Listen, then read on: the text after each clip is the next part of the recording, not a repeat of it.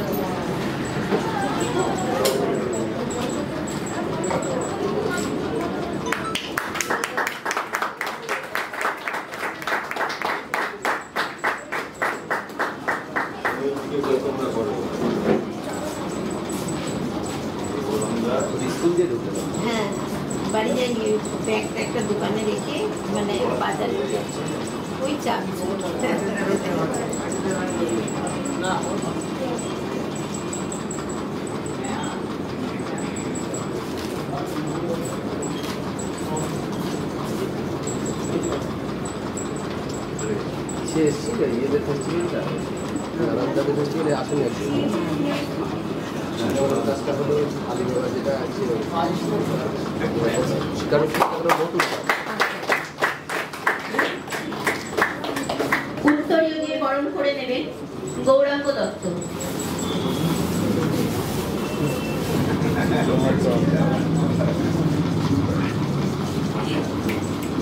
সপ্তকের পক্ষ থেকে সপ্তক স্মারক তুলে দেবেন দেবাশিস চৌধুরী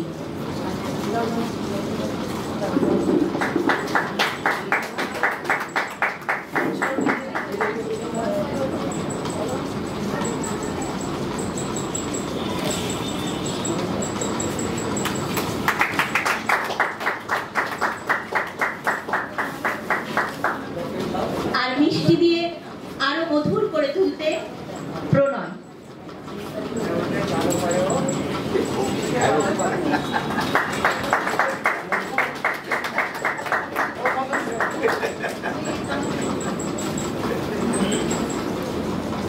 প্রথমে বলেছি, যাদের কথা না বল, যাদের প্রতি কৃতজ্ঞতা না জানালে বোধহয় আমাদের অনেক কাজই অসমাপ্ত থেকে যায়। সেই মাননীয় আশিস দাস মহাশয় এবং দীপান্বিতা। আমরা আসলে দীপাদি বলে অভ্যস্ত ওই জন্য বলার সময় দীপান্বিতা নামটা মনে থাকে না। এবং আশিস দাকে বলব, একটু মাঝখানে আসতে, আমরা সপ্তকের পক্ষ থেকে বরণ নয়, একটু ভালোবাসা জানাব। আশিস উত্তরীয় পড়াবেন অর্পণ।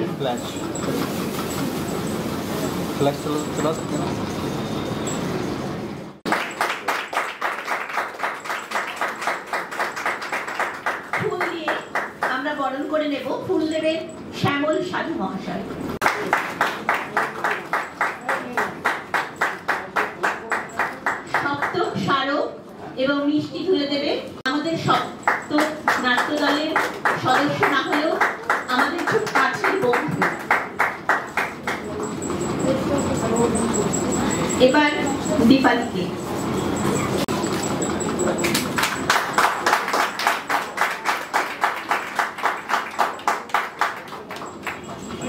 ভালোবাসা জানাবে নীল সপ্তকে নীল।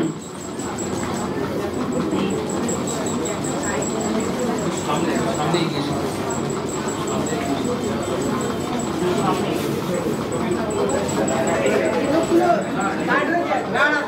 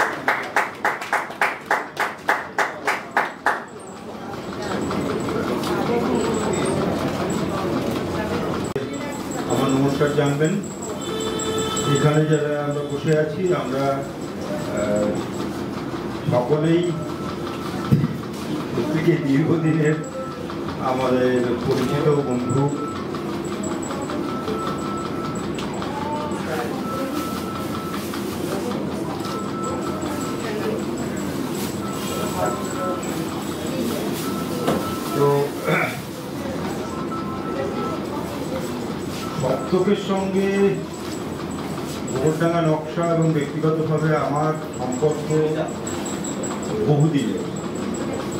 বহুদিনের এবং ওদের যে সিনিয়র যে মানুষরা কাজ করেছেন, তাদের প্রত্যেককেই আমি খুব ব্যক্তিগতভাবে চিনি এবং তাদের সঙ্গে সেই ঘনিষ্ঠতা আমার আছে। এখানে দুই বন্ধু বসে আছেন। এছাড়াও অনেকে আছেন। অনেকে বয়সজনিত কারণে আসতে পারেননি। কিন্তু যেটা আমার কাছে খুব ভালো লেগেছিল যখন আমাকে প্রণয় বলে, তখন দেখেছি ওদের সঙ্গে ওরা অল্প বয়সী, সব আঠেরো, কুড়ি, পঁচিশ, এই বছর বয়সী ছেলেমেয়েরা সবাই মিলে খুব উৎসাহের সঙ্গে কাজ করছে এবং বড়দের অভিজ্ঞতাটাকে নিচ্ছে এবং ওরা সেই অভিজ্ঞতাটাকে নিয়ে ওরা দলটাকে নতুন করে তারুণ্যে ভরিয়ে দিয়েছে। সেটা খুব জরুরি বলে আমি মনে করি। কারণ এটা একটা যাপন এবং সেই যাপনে একটা সময় তো বয়স বাড়ে, ক্ষমতা কমে, কিন্তু অভিজ্ঞতা হয়তো বাড়ে। সেই অভিজ্ঞতাটা কাজে লাগিয়ে যদি পরবর্তী জেনারেশন ছোটরা যদি এগিয়ে না আসে, তাদের কোনো সংগঠন প্রাতিষ্ঠানিক চেহারা পেতে পারে না এবং সেই সংগঠনের ভবিষ্যৎ কোথাও একটা সংকটের মুখে পড়ে। আমাদের সামনে ভুরি ভুরি এরকম উদাহরণ আছে। যার থেকে পঞ্চাশ বছর আগে, ষাট বছর আগে যে দলগুলো, যারা খুব গুরুত্বপূর্ণ কাজ করেছেন, অনেক দলই এখন বন্ধ হয়ে গেছে। এবং খুবই খারাপ অবস্থায়, কিছু দল খুবই খারাপ অবস্থায় তার মানে ব্যাটন তুলে নেওয়ার লোকের যেমন অভাব, আর ব্যাটন অপরের হাতে ছেড়ে দিতেও কোথাও আমাদের বড়দের কোথাও কোথাও আপত্তি থাকে। প্রথম হচ্ছে আমি নৃত্যশিল্পী নই ছোটবেলায় একসময় করতাম একটা করতাম। এখন হচ্ছে নাচের দলের সঙ্গে যুক্ত। প্রকৃত- অর্থে আমি হচ্ছি মঞ্চের পেছনে। পেছনে যোগান দিতে হয় তো যা না দিলে কিন্তু মঞ্চটা পরিপূর্ণ হয় না। মঞ্চের যারা কাজ করবে তাদের যদি প্রপ এগিয়ে না দেওয়া যায় বা তাদের মিউজিকটা চালানো না যায় বা আলোটা না করা যায় তাহলে তারা ওখানটা কিছু করতে পারবে না। আমি সেই মঞ্চের পেছনে কাজ করি সামনে দিকে আজকে প্রণয় আমাকে ফোন করেছিল আসতে হবে। আমি একটু খানিকটা দ্বিধাগ্রস্ত ছিলাম আমি আশিসকে তারপর ফোন করলাম। ওরা আমাকে ডাকছে এমনি দর্শক আমি ঠিক আছি এই জায়গায় তো বসার মতো কার পাশে বলব একাডেমি একদম। আশিস দাস একাডেমি পুরস্কার পাওয়া গেল যখন একাডেমি ঘরে ঘরে ছিল না মানে অভিনয় কুড়ি জন পরিচালনায় বা বাইশ জন একাডেমি পাইনি একটা অভিনেতা একটা পরিচালক একটা সহপরিচালক এইভাবে যখন একাডেমি পুরস্কার দেওয়া হতো তখনকার একাডেমি পাওয়া মানুষ হচ্ছে আমার ভাতৃ সম দাস। তার পাশে নাটকের মঞ্চে বলা আমার পক্ষে অসুবিধে আর দীপা বিনোদিনী দীপা বলাই বোধহয় ভালো। আমি আহ, একটু ভুল করছি একক অভিনয়ে বিনোদিনী করে যেভাবে দর্শককে মাতিয়ে দিয়েছে, তার পাশে নাট্যমঞ্চে দাঁড়িয়ে বলা দৃষ্টতা আমার নেই।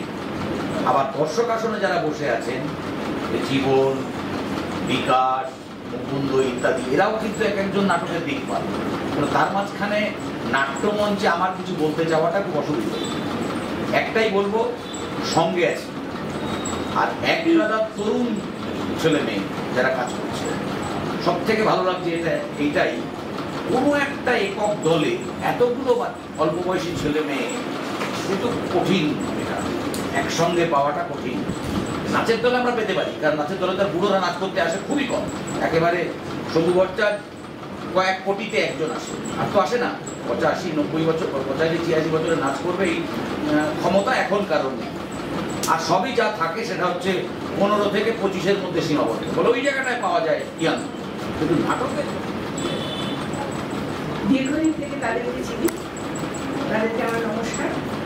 আর সামনে যারা বসে আছেন, তাদের তো কিছু বলারই নেই। মানে তারা না থাকলে আমাদের থিয়েটারটা হয়ই না। একাধারে তারা সংস্কৃতি প্রেমী, একাধারে তারা দর্শক। সংস্কৃতির বিভিন্ন অঙ্গনে তারা বিভিন্ন রকম কাজ করে চলেছেন। সকলকে আমার প্রণাম। নানাগত সপ্তকের ওই কথা বলতে বলতে যেটা বারবার করে হয় না একটা কোনো কথা এলে কোথাও একটা আমরা স্মৃতিতে কোথাও চলে যাই তো আমি বারবার করে ওখানে চলে যাচ্ছিলাম একটা স্মৃতির মধ্যে। সবাই বলে যে কিছু ইয়াং ছেলে মেয়ে ছেলে মেয়েরা দেখছি, তাদের দেখে ভালো লাগছে এইগুলো। তো এরকমই একটা ইয়াং ছেলে একদিন আমাদের বাড়িতে এসে হাজির হয় তার নাম নব নবকুমার নামটা এমনই একটা না মনে রাখার মতো নয় আর কি এই আধুনিক যুগে নবকুমারের মতন এরকম একজনকে পাওয়া খুব মুশকিল হয় তো সেই ছেলেটি আসে বিভিন্ন বিষয়ে আলোচনা হয় সবকিছুর সঙ্গে কোথাও একটা ভীষণভাবে আমরা জড়িয়ে যাই নকশায় তারপর কি হয়? সব কিছুরই তো একটা ভাটার টান আসে সেরকম একটা ভাটার টানে কিছুদিন শব্দ চলেছে আবার একটা জোয়ার এসেছে। শুধু ভাটারই শেষ হয়ে যায় সবসময় নয়। তো এই যে জোয়ারটা এসেছে, এই জোয়ারটার প্রতি আমার মানে কি বলব একটা আবেগ জড়িয়ে যাচ্ছে।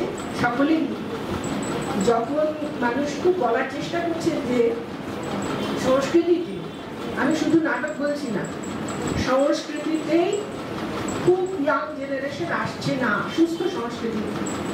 তখন এই যে এই যে ছেলেমেয়েরা এসেছে, এরা কি কেউ নয়? তাহলে আমরা কি এদেরকে বাদ দিয়ে কারোর কথা ভাবি যে ওই রকম কেউ এলো না? এরাই তো ঘষতে ঘষতে, পড়তে পড়তে উঠে দাঁড়াবে পলিশ হবে। সেটাই তো আমাদের চাওয়া ছিল, বা আমাদের বড়রা যারা চেয়েছিলেন, আমরাও এরকম করেই প্রায় শুরু করেছি। তো বারবার করে কোথাও এটা বলে দেওয়ার চেষ্টা হচ্ছে যে, বারবার করে দাগিয়ে দেওয়ার চেষ্টা হচ্ছে যে সুস্থ সংস্কৃতিতে কোনো ইয়াং জেনারেশন আসছে না। একটা বহুল প্রচার দেওয়ার চেষ্টা হচ্ছে। সেই প্রচারটাকে কোথাও আঘাত করার দরকার মনে হয়েছে আমরা যেখানেই যাচ্ছি, আমাদের এখানেও যে এত দল এসে তারা থিয়েটার করছেন আমরা সব জায়গায় দেখতে পাচ্ছি ইয়াং ব্লাডের কি তাদের একটা চাহিদা, কি তাদের একটা, তারা করছে ভেতর। সেটাকে আমরা একদমই নাড়চাড় করছি না, উল্টো কথাটা বলে যাচ্ছি বারবার করে যে এরা কিছু পারে না, এরা কিছু জানে না, এরকম কিছু না মানে অন্য একটা কিছু একটা আমরা চাইছি সেই ইউটিউবিয়ায় ওরকম কিছু একটা না ভেবে আমাদের সঙ্গে যারা আছে, তাদেরকে আমরা একটু ভালোবাসা দিই, একটু স্নেহ দিই, তাদেরকে একটু বুদ্ধি পরামর্শ দিই, তারা যাতে আরেকটু ভালো দলিশ হয়ে ওঠে বা তারা যাতে আরও ভালো কিছু কাজ করতে পারে। সেই কাজটার জন্য আমার মনে হয়েছে আমাদের প্রত্যেক কোথাও একটা, এই কথাটা কোথাও বারবার বারবার করে বলা দরকার। উনিশশো ছিয়ানব্বই সালে গাঁড়াপোতা প্রতি সংসদ বলে দলটা শুরু করে উনিশশো অষ্টানব্বই সালে হঠাৎ মনে হলো, নাট্য কম্পিটিশন করব। আশিসদার সাথে যোগাযোগ করলাম। আশিসদা বলল, করতে যাস নে টাকা পয়সা খরচ করবি পরিশ্রম করবে আর বদনাম নিয়ে ঘরে উঠবে। অতএব নাট্য উৎসব কর। সেই উনিশশো থেকে আজ অবধি আমরা প্রতি বছর বাইশ বর্ষ বোধ এটা, তেইশ বর্ষ নাট্যমেলা আমরা করছি, তেইশটা বছর। এবং ছোট বড় সকলের মিলিত প্রচেষ্টা এবং আশিস দাদের মতো মানুষগুলো আমাদেরকে মানে পেছন থেকে কখনো হাত ধরে পথ দেখিয়ে দেয় বলেই আজকে এত বছর সেই ছিয়ানব্বই থেকে আজ অব্দি একটা দল, আর আশিস দাদা তো অনেকবার গেছে আমাদের ওখানে, একটা পঞ্চায়েত এলাকা সেখানে দাঁড়িয়ে একটা মাঠের মধ্যে, কোনো বাগানের মধ্যে প্যান্ডেল ঘিরে একটা অস্থায়ী অডিটোরিয়াম করে বছর তিনেক হলো আমাদের ওখানে একটা অডিটোরিয়াম হয়েছে সরকারের পক্ষ থেকে। কিন্তু তার আগে আমরা এইরকম করে করেছি। ছাতা মাথায় দিয়ে মানুষকে টিকিট বেচতে গেছি। থিয়েটার টিকিট কেটে দেখতে এই ধারণাটা ছিল না। ওই এলাকাতে। তারপর একটু একটু করে চারা বড় হয়েছে। এখন মানুষ এসে খোঁজ নেয়। মানে শীতকাল আসলে যে তোমাদের নাট্যমেলাটা কবে হবে? হ্যাঁ? তা এই পরিস্থিতি ওই শুধু দাঁড়াপদা সপ্তাহ কেন্দ্রিক তো নয়। আশিসদা বিপাদীর মতো মানুষের আমাদের পাশে একেবারে আশীর্বাদের হাত সবসময় ওই বলছিল না, ভাটা, জোয়ার জোয়ার, ভাটা, এটা জীবনের একটা ইয়ে। আমরা একটা কথাই বলতে পারি, আমরা ওই ছোটদের হাতে তুলে দিয়েছে।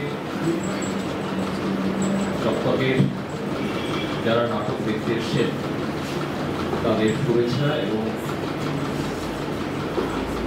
যারা আলোকিত করে আছেন আমার বাবায় বা দিকে বিশেষ করে আশিস দাস এবং দীপান্বিতা দাস তাদের সঙ্গে আমার বহুদিনের সম্পর্ক এই নাটককে কেন্দ্র আহ, তাদের যে সন্তান ছোট্টটি ছিল যখন ঘরের খড়িগণ্ডি তখন বোধ হয় সবে নাটকটি হয়েছে। আমরা বোধ হয় প্রথম একটি সংগঠন তাদের এই কভার স্টোরি করেছিল আশিস দাসের একটা বিখ্যাত সাক্ষাৎকার। সে বহুদিন হয়ে গেল। আশিস দাসের বহু নাটক আমি দেখেছি, নাটক দেখতে রিভিউ করেছি। তো যাই হোক, এই গোবরডাঙ্গায় যখন এখানে নতুন প্রতিষ্ঠান তৈরি হলো, তখন আমি এসেছি। খোলা মঞ্চে যখন নাটক হয়, তখন এসেছি। ইদানিং সম্পর্কে কিছু যে কোনো কারণই হোক টানা পড়ে নিয়ে আসা হয়ে ওঠে না। আর সপ্তকের সঙ্গে এখানে একটি মনে হয় বছরের কোনো গণ্ডগোল আছে। সপ্তক আসলে উনিশশো চুরানব্বই সালে জন্ম হয়। পরে পঁচিশ সংসদ তারপর আবার সপ্তক ফিরে আসে। হ্যাঁ সে না থাক কিন্তু নামটা গাঢ়তাতেই তো সুতরাং কোথাও একটা সম্পর্ক থাকতেই পারে। এটা আমার মনে হয়, কারণ যেহেতু ওই সপ্তক, সপ্তকেরই যারা কুশীলক তারাই এই সপ্তকের মধ্যে ফিরে আসেন সে যাই হোক সেদিন বিখ্যাত নাট্যকার, দায়বদ্ধের তিনি কর্মশালা করেছিলেন, তিনি প্রত্যক্ষ করেছিলেন, দুটি শো হয়েছিল, আমিও ছিলাম, আমি দর্শক হিসেবে ছিলাম। সেই সপ্তকের বহু বহু নাটক তারা মঞ্চস্থ করেছে, অন্যের নাটক তাদের নাট্য উৎসবে বা নাট্য মেলায় বিখ্যাত নাটক বিশেষ করে আশিস দাসের টিমে বহু নাটক সেখানে মঞ্চস্থ হয়েছে আমি ইয়েস রচনা এবং নির্দেশনা ভূমিসুতা দাস প্রযোজনা নকশা মঞ্চস্থ सीमा माया या मुमताज हालत सबकी एक जैसी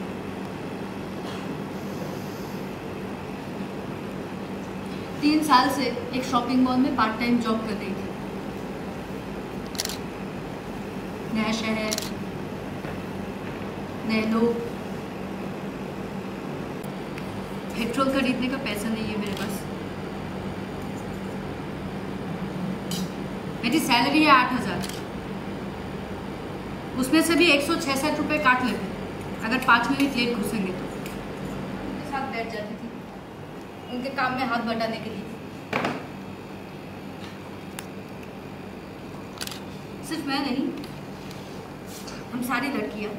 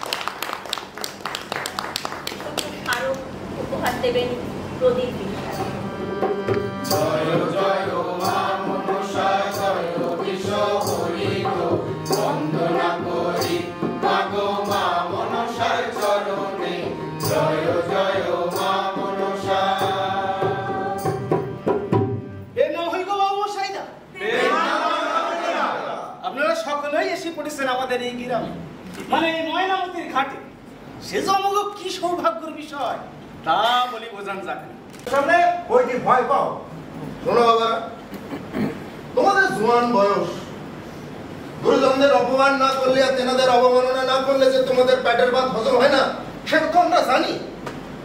তবে কিনা আমাদের পূর্বপুরুষরা তো এমনি এমনি নিষেধ করে জানি নিশ্চয়ই তার একটা কারণ আছে। কারণ মানে হলো তুমি বা আচ্ছা আপনারাই কর যাই কেন? দাঁড়াস কি তাদের মাথায় কি মুনি বলে কোনো বস্তু থাকে?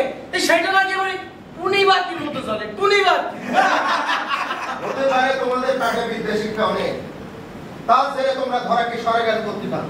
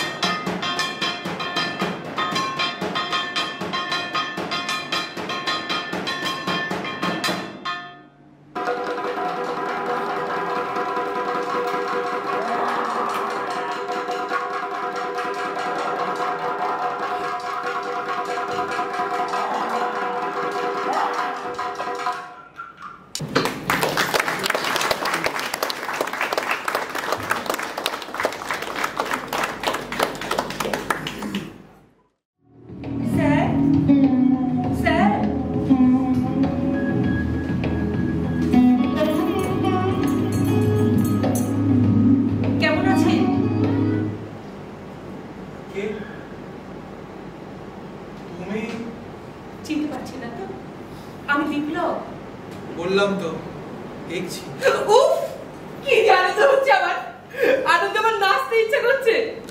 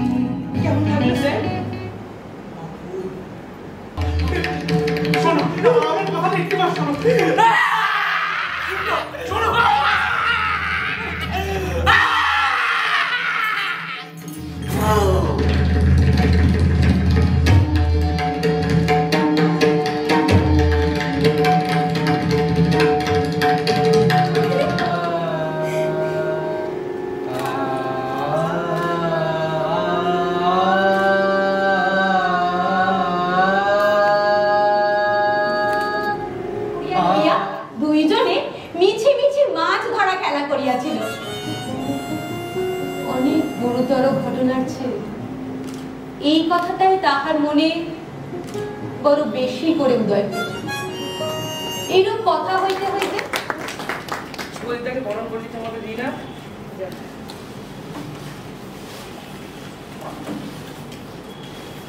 সবার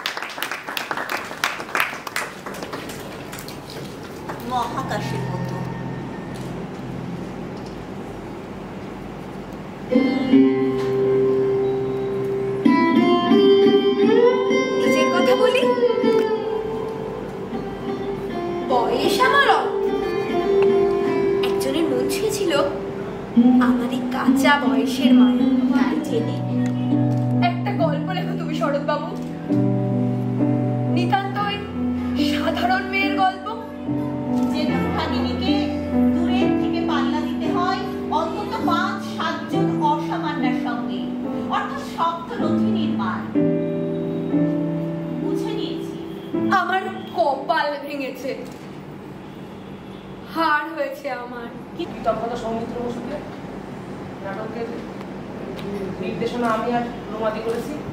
আর অভিনয় করেছে অর্পণ, আরাধ্যা, শর্মিলি আর রোমাদি আর এই নাটকের এই নাটকে একজন অভিনয় করতো, ওর পরীক্ষাগুলো করতে পারেনি, তার পরিবর্তে ও করেছে। আর প্রযোজনা গাড়াপথা সপ্তকের আলো করেছে অনিরুদ্ধ আর অর্পণ মিউজিক নীলার্ঘ, সৌভিক। এরা দুজন মিলেই করেছে এই টোটাল বিষয়টা। ব্যাকস্টেজ এ সামলিয়েছে জয়দীপ। পরবর্তী নাটক শুরু হবে।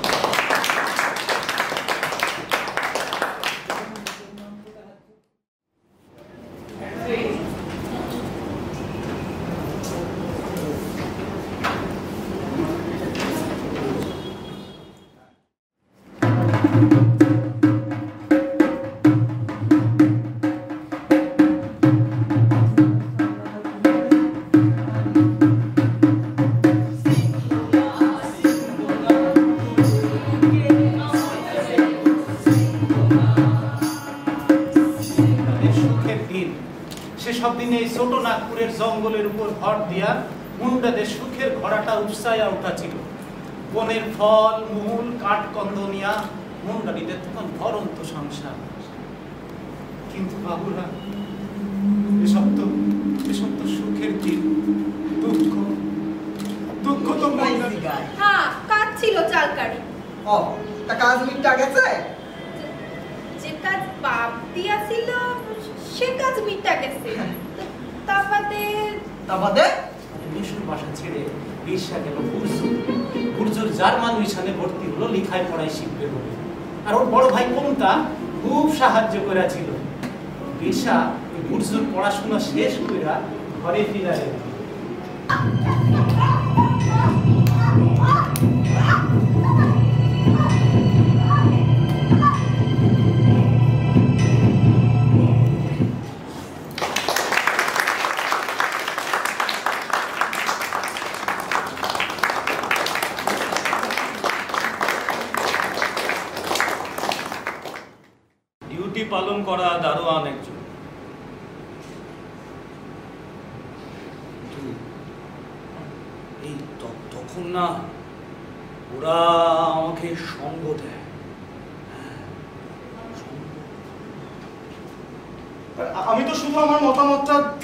চেয়েছিলাম মানে আমার মতামতটা তো নেওয়া যেত বলো মানে শুধুমাত্র বলে যাওয়া তো একটা মানুষের কাজ হতে পারে।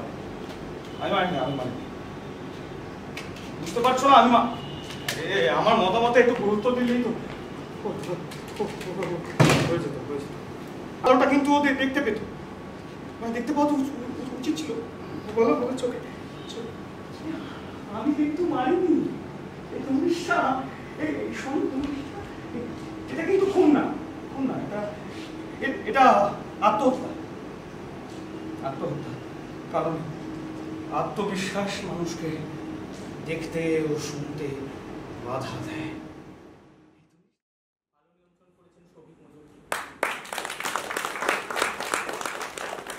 নাটকের আম- আবহতে আমার সাথে আহ, সাহায্য করে প্রীতম সমাজের মঞ্চ পরিকল্পনা করেছেন দেবাশিস দত্ত নির্মাণ মদন হালদার অভিনয় করেছে প্রীতম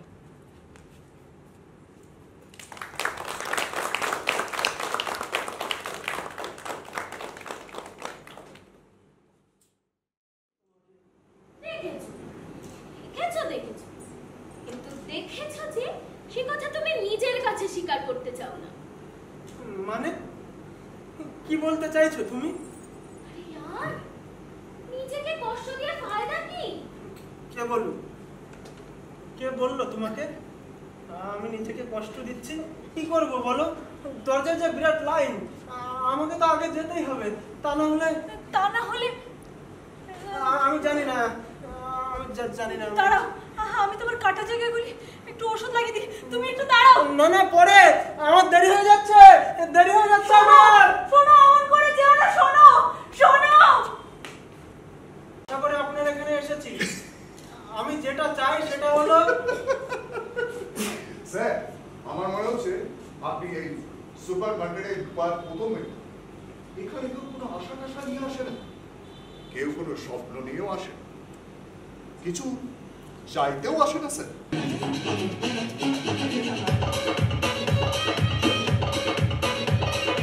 রাজু শেষ নাটক, বিগ বাজার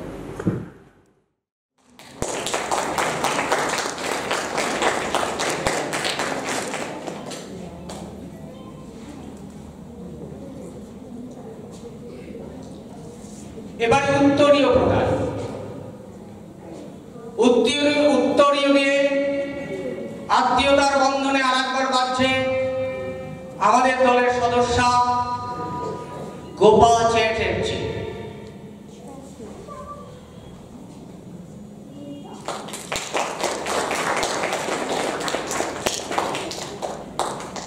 এবারে আমার তারুণ্যের বহিঃপ্রকাশ রুদ্রাণী সরকার। একসময় আমাদের ছোটদের নাটক দাবিয়ে পড়েছে যে রুদ্রাণী, সে এখন পেশাগতভাবে নার্স। সে স্মরণিকা তুলে দিলেন আমাদের মাননীয় রাকেশ ঘোষের হাতে। স্মারক সুধাংশু সরকার, আমাদের এবার নাট্যমেলার ক্যাশিয়ার। স্মারক তুলে দিচ্ছেন। প্রদীপ ঘোষ আমাদের মাননীয় সহসভাপতি। প্রতি বছর আমাদের একটা নিয়ম হয়ে দাঁড়িয়েছে। ঘোষ মিষ্টান্ন ভান্ডারে কাঁচা গোল্লা আমরা পৌঁছে দেবই আমাদের উদ্বোধকের ঘরে। সেই নিয়মের ব্যতিক্রম এবার ঘটেনি। প্রদীপ দা তুলে দিচ্ছে। কাঁচা গোল্লা বন্যার বিখ্যাত কাঁচা গোল্লা একটা মিষ্টি সম্পর্ক তৈরি হলো আবার এই মিষ্টির মধ্য দিয়ে।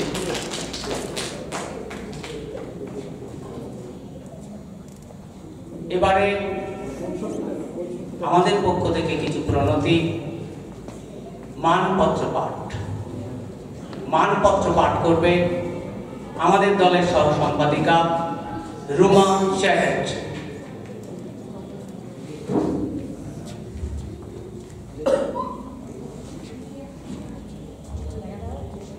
অভিবাদন। গাড়াপতা সপ্তম নাট্য সংস্থা আয়োজিত তেইশ নাট্যমেলা দু হাজার একুশ বর্ণপরিচয় অডিটোরিয়াম বাসুদেব হালদার স্মৃতি মঞ্চ। উদ্বোধক শ্রী রাকেশ ঘোষকে নিবেদিত। প্রান্তিক বাংলার গ্রামীণ নাট্যচর্চায় উৎসবের মেজাজে আমরা কাটিয়ে দিলাম তেইশটা বছর। আমাদের এবারের নাট্যমেলা ঘরে বাইরে তারুণ্যের সমাবর্তনে নিপ্যমান উদ্বোধক হিসেবে আপনার উপস্থিতি এই নাট্যমেলার গরিমাময় আহরণ আমরা আমাদের দিন নাট্যচর্চায় আপনার সাহচর্য ও বন্ধুতা প্রার্থী। সৃজনশীলতায় আপনার দুঃসাহস ও স্পর্ধার আঁচে তাকিয়ে নিতে উৎসুক আমাদের শিক্ষানবিশ চেতনার শিল্পিত প্রান্তর। বন্দনা নয়, সহযাত্রীর আলিঙ্গন। আপনার সুদীর্ঘ শস্যময় নাট্যজীবন কামনায় সদস্য গণপতা সপ্তক নাট্য সংস্থা উত্তর চব্বিশ পরগনা। সূচক সাত চার তিন দুই পাঁচ এক ছাব্বিশ বারো দু হাজার একুশ। আপনার এই চেতনার রঙে আমরা রাঙিয়ে নিলাম নিজেদেরকে। মাননীয় রাকেশ ঘোষ আপনি ভালো থাকবেন সুস্থ থাকবেন।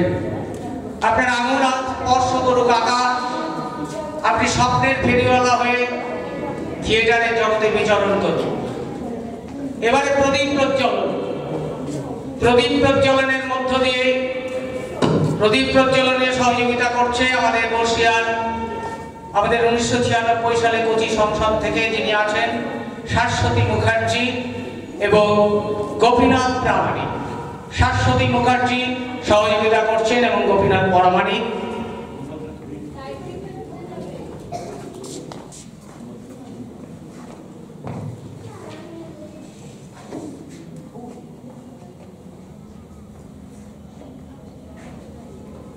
হ্যামনিলের বাসিওয়ালার মতো রাকেশ ঘোষের শ্যাফ চিত্রাঙ্গদা আমাদেরকে দূর আকাশে স্বপ্নের দেশে নিয়ে যাবে।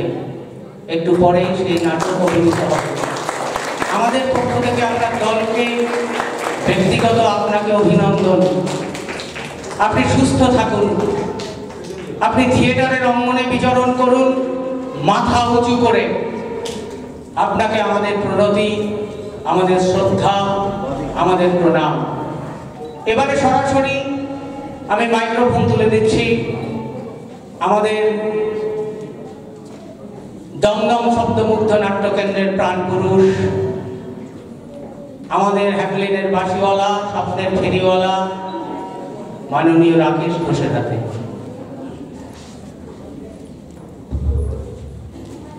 নমস্কার, শুভ সন্ধ্যা। গারাপতা সপ্তকের সকল সদস্য, সকল যারা কর্মী আছেন থিয়েটারের তাদের প্রত্যেককে আমার অভিবাদন এবং উপস্থিত দর্শকদের অনেক অনেক ভালোবাসা। আজ আরেকটু পরেই মানে এতক্ষণ ধরে কাঁচাগোল্লা, শাল ইত্যাদি ইত্যাদি এইসব দেওয়ার তখনই সার্থকতা আছে যে আমি মানুষটাকে আমার পরিচয় তো মঞ্চে কি নাটকটা হবে সেটা দেখার পর। হাততালিগুলো আগে দিচ্ছিলেন, আমার মতে বলে ওগুলো জমিয়ে নেবেন শেষে প্রয়োজন মনে হয় তখন দেবেন না হলে আবার কাঁচা গোল্লা ফেরত যাবে।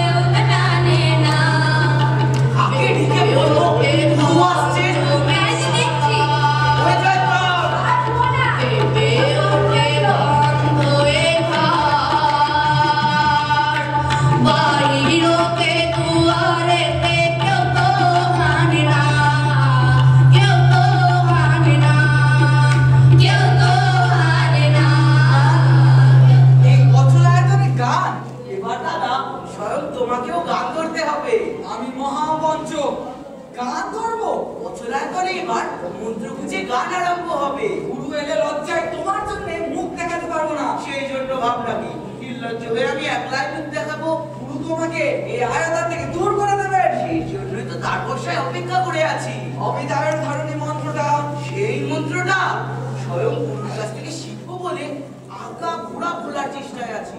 সেই জন্যই তো গান ধরেছি।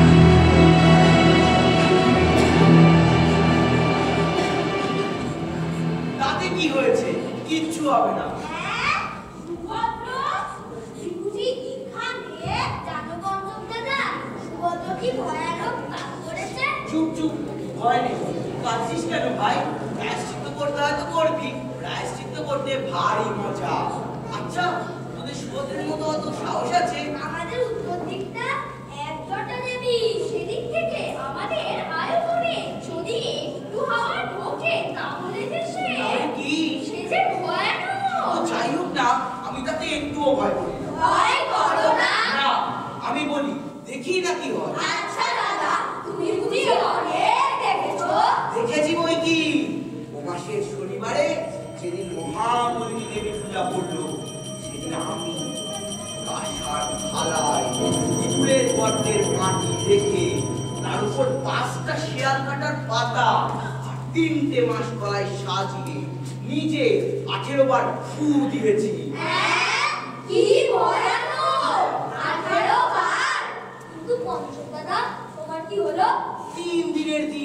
সাপটা আমাকে কামড়াবে? নিশ্চিত কথা ছিল সে আজ পর্যন্ত আমাকে খুঁজে বের করতে পারল না। সাপটা যদি তোমাকে কামড়াতো? তাহলে তো কোনো সন্দেহই থাকতো না। ভাসভদ্র জানলা খুলিতে কি দেখি বল না। না না বলিস না। আমরা শুনতে পারব না। কি আচ্ছা একটু একটুখানি বল ভাই। আমি